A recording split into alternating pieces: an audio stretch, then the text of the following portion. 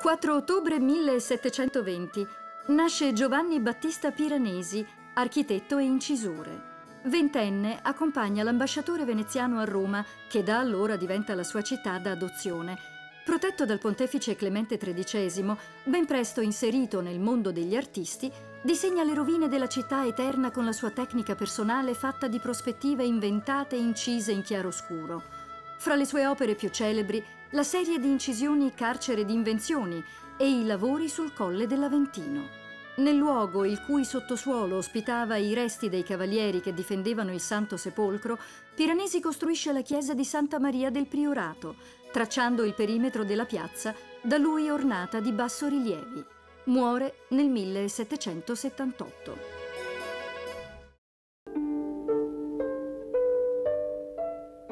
Già nella sua prima serie di acqueforti, eseguita a 22 anni, la prigione è presente.